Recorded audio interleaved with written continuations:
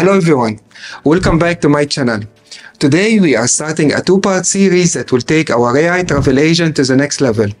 In the first part, we will dive into the theory behind the plan and execute agent architecture. This powerful concept will allow us to significantly upgrade our existing AI travel agent in the next tutorial.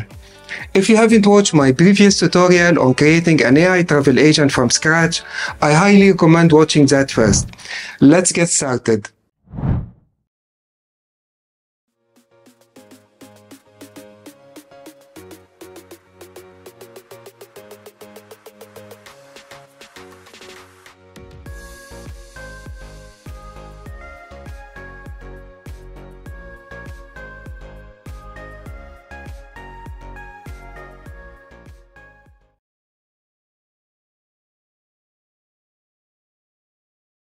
The plan and execute architecture is a sophisticated approach to building AI agents, inspired by the plan and solve paper and the BabyAGI project. This method offers several key advantages that will significantly improve our AI travel agent. Unlike our previous agent that works step by step, this architecture allows for comprehensive strategy creation we can use smaller model for execution while reserving the larger model for planning stage. Through replanning, our agent can adjust for new information or changes in the environment. Now let's dive into the core component of this architecture, the planning and replanning stage.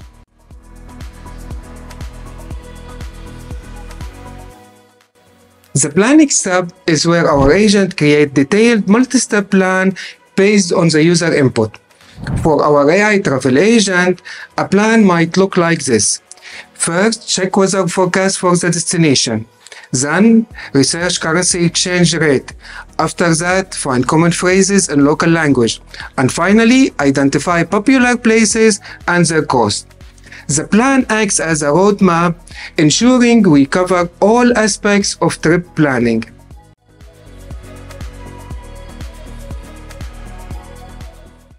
In the execution step, uh, our agent will carry each task in the plan. This is where we will use our existing tools like currency conversion, weather forecast, and language translation. The key difference is that a comprehensive plan will now guide these tools.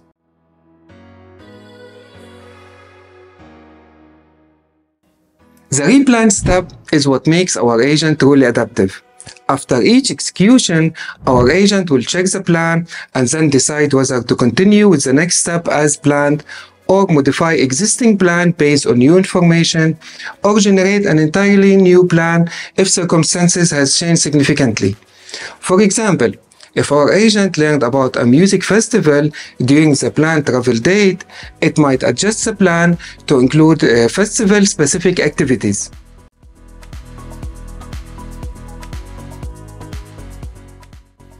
By implementing this architecture, our agent will become more comprehensive as it will consider all aspects of trip planning from the start and efficient as it can handle complex multi-step planning without getting lost or repetitive.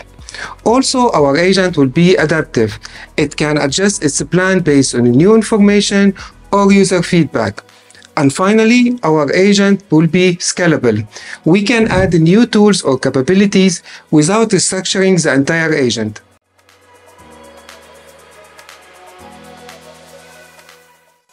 In our next tutorial, we will implement this plan and execute architecture using LangGraph to upgrade our AI travel agent.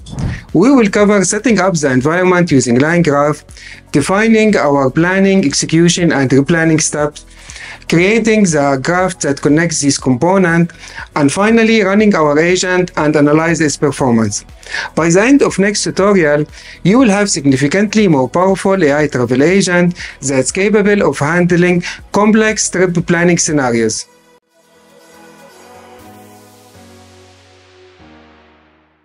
And that's wrap our introduction to the plan and execute agent architecture. I hope that you are excited as I am to apply this to our AI travel agent. In the next tutorial, we will dive into the implementation.